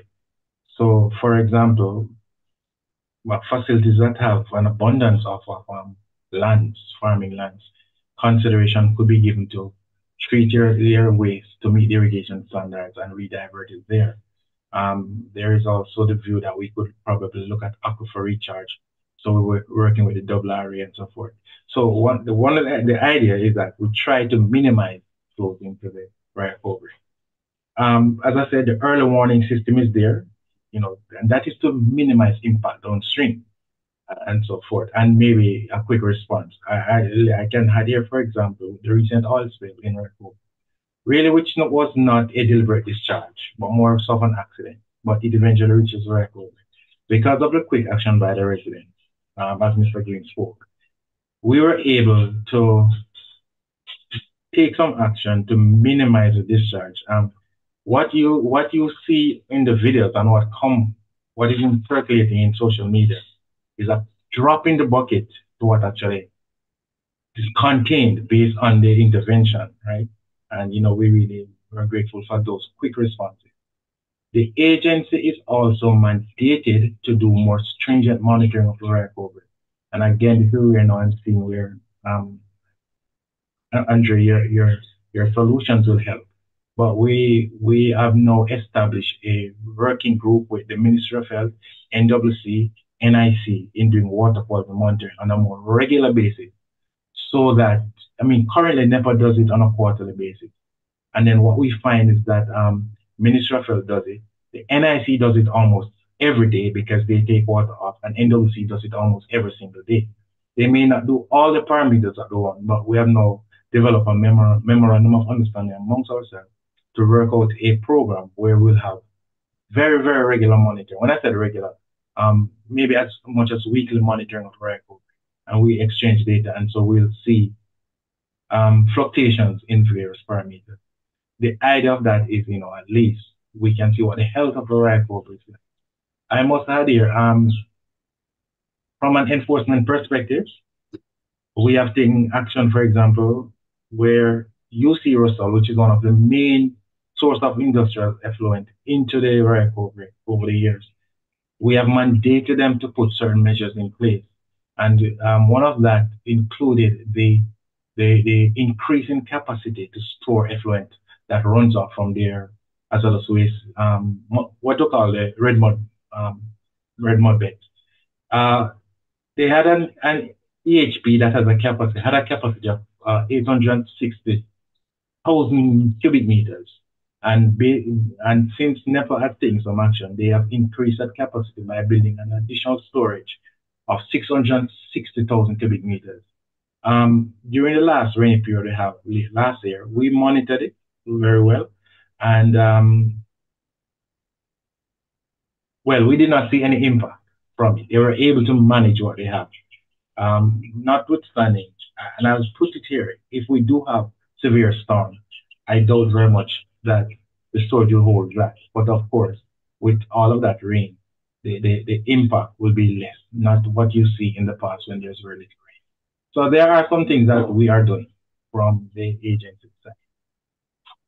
Okay, thank you.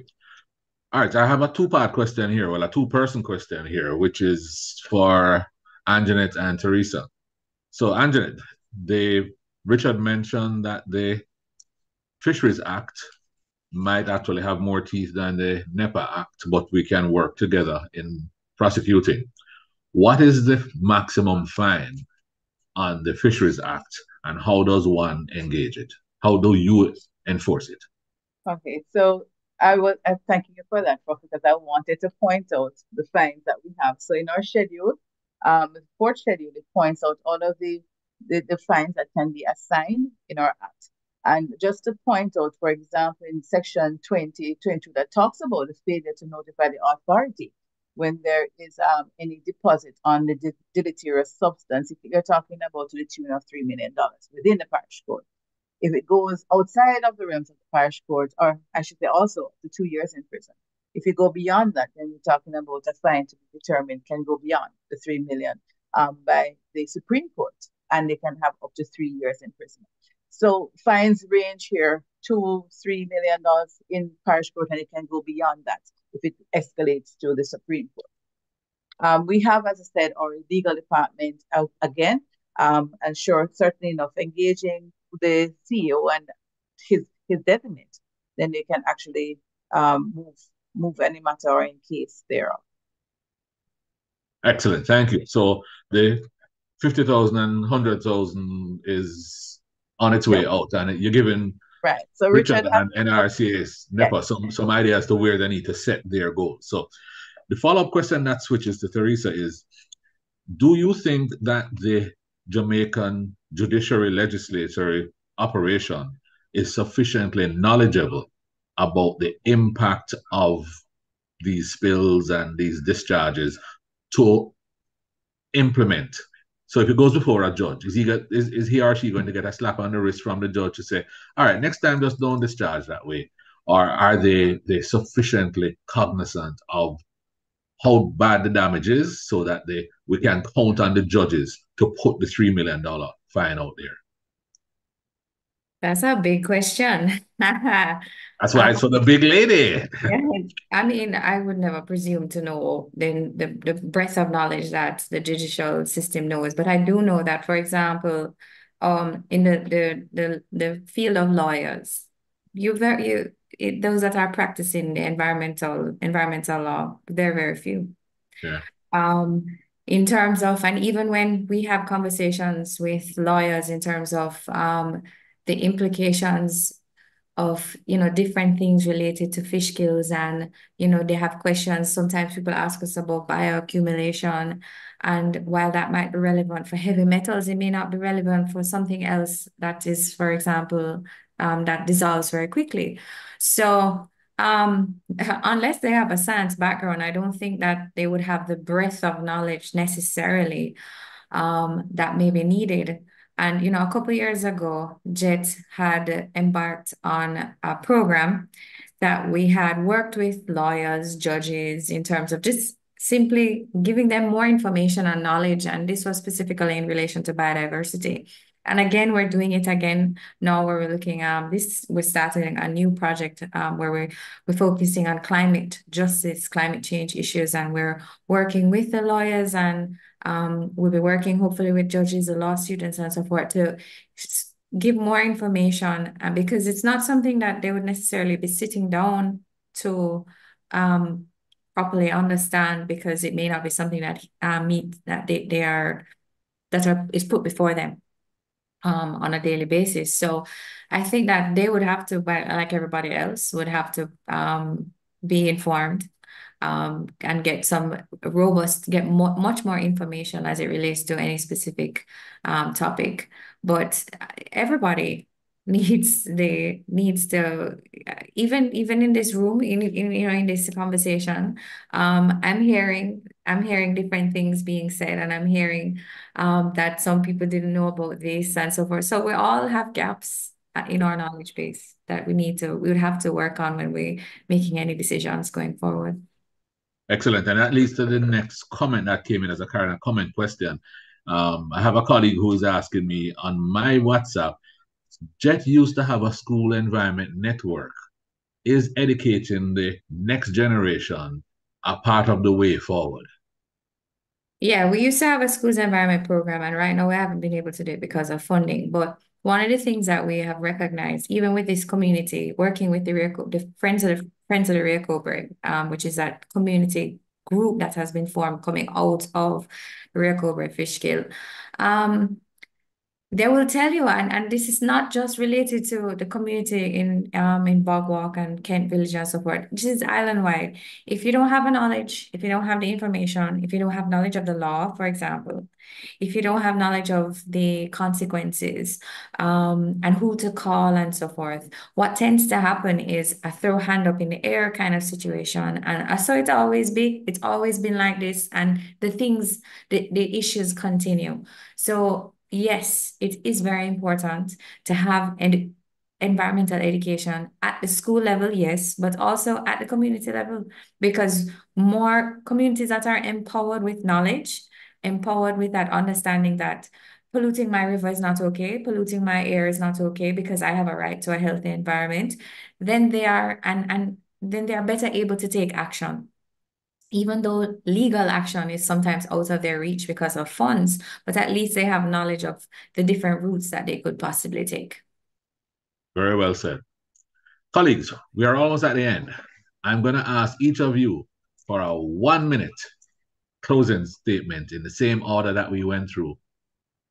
What would you want those listening to this session? I mean, the faculty puts together these meetings, these sessions where we get the, the right minds in the in the right room.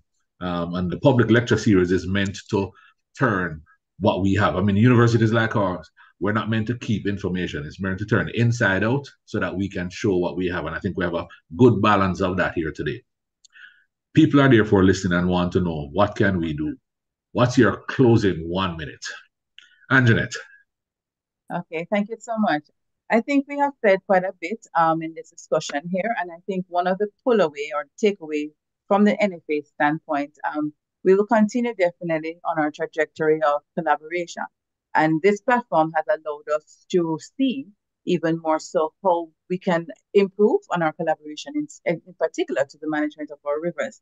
And so one of the thought processes that will be going in our recommendation is to look at a task force um, as we're strengthening our consultations and monitoring the river, we want to see if we can do something like a task force, have our ecosystem-based approach to management or aquaculture division to look back into reproducing carbs, the tilapia, the mullets, as uh, Mr. Green would have mentioned before, because these are species that used to um, be produced. And so I will then say from here, thank you. This will definitely move us into further our direction where we can now build a better fisheries sector for our family.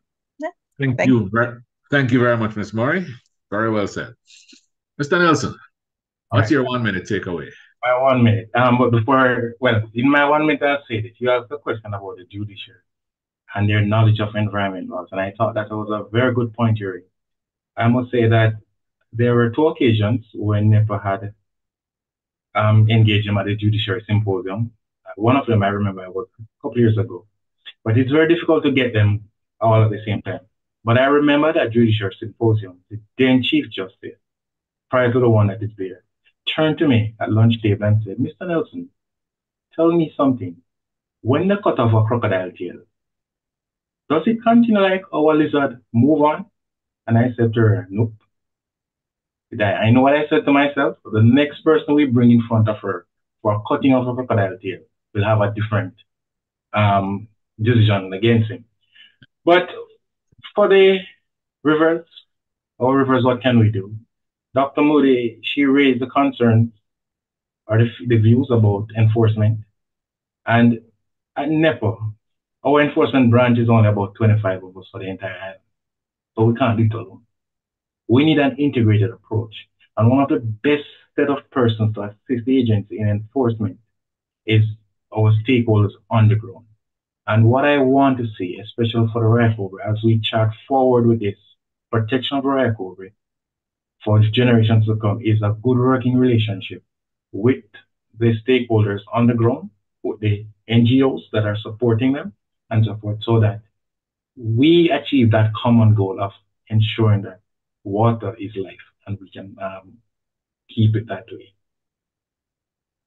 Excellent. Thank you so much, Sir Nelson. Dr. Rodriguez, Moodie, what are your closing thoughts? All right. We have a right to a healthy environment, but not a lot of people know this. And we need to empower people with the knowledge that it is a constitutional right and that they need to um, know this and what are the actions that they can take. I think it's very important that we be less reactionary. And a lot of the things that we heard that are now being put in place are for things that should have been done years ago because these industries are not new. Many of them have been there for decades. And so these things have should have been done and should have been in place from before. Um, I do also strongly believe that we just heard NEPA say about working better with stakeholders. I mean, I mean, I'm just in a simple WhatsApp group with members of the community. And as soon as they see something, they send a WhatsApp and somebody sends it to NEPA, somebody else sends it to NFA. And then we just, you know, another one sends it maybe to the minister. And we're like, hey, you know, let's follow up. And then it's a hustle, hustle. It's just a simple WhatsApp group. Um, now, yes, it's not perfect. And yes, you can do, you have your most automated services, um, automated systems in place, but I do believe that if we start with the low hanging fruits, we can have a much better um, approach to managing of our rivers. And again, I think, and I said it in the presentation towards the end, one of the most important things that we need to change is um, a commitment to execute and complete these identified actions, the greater needs for the law, the the the fines, the sanctions, the policies, the transparency, access to information. If we have that commitment to making that, to doing that, then I think that we'll see a massive improvement in the protection, not just of our rivers, but in terms of our entire um, and our environment. Thank you very much. Clear and again, well spoken. So Green, as a fisher in the area and friends of the Rio Cobre, what is your last minute takeaway for us?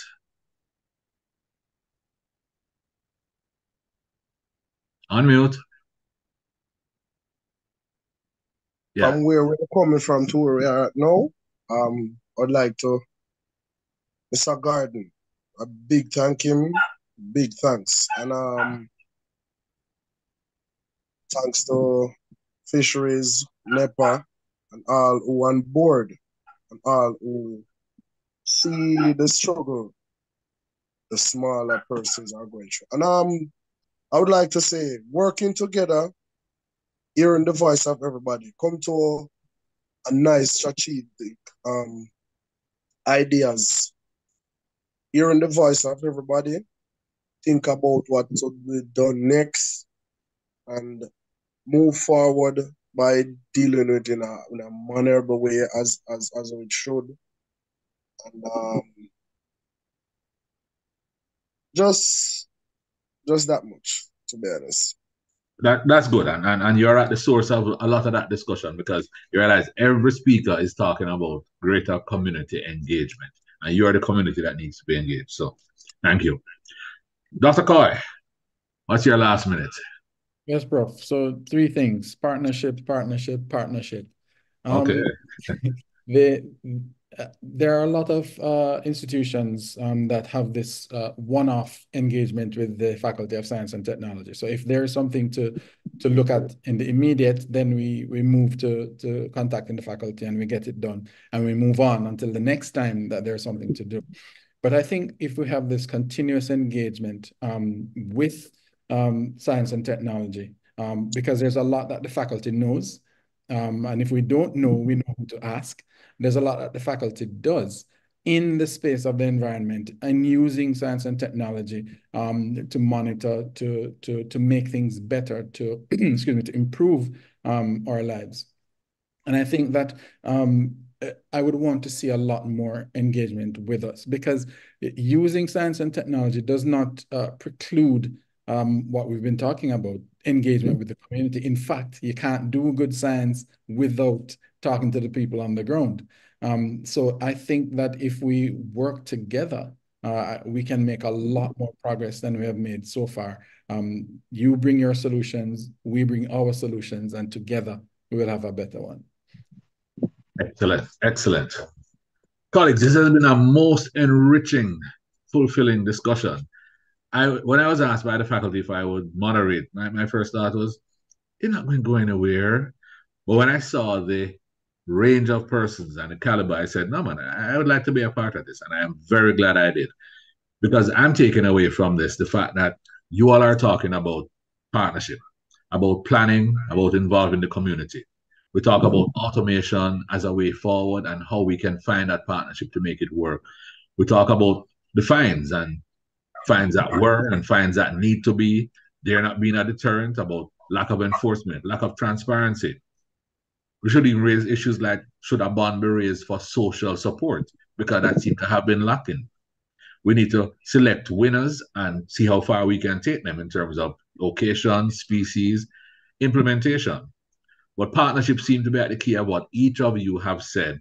And I'm glad that we've had the opportunity to share. So I would like to thank each and every one of you for your presentation, for your responding to questions, some of which might have been a little uncomfortable, but we're all here to get the answers that we want. Oh, but most of all, for spending the time to prepare and to be here and share, because now we have, I think, a good foothold to continue this discussion. Linkages that have been made can be taken even further and we can all have a much better environment. What can we do? We can look to each other, look to our communities to let our expertise shine. Thank you very much, colleagues. Do have a good evening. Thank you for having Thank you so much.